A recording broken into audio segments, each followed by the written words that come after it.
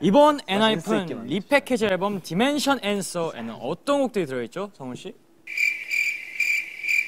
네, 바로 Blessed Cursed와 Polaroid Love임 나쁘지 않은데? 아, 네, 되게 편하다. 딸기 섞으시네요. 딸기 요, 요거트 같다.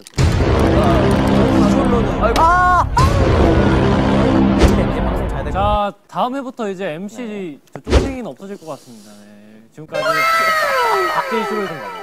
맞아. 레몬 저거. 보통 짜서 마시. 간다 간다.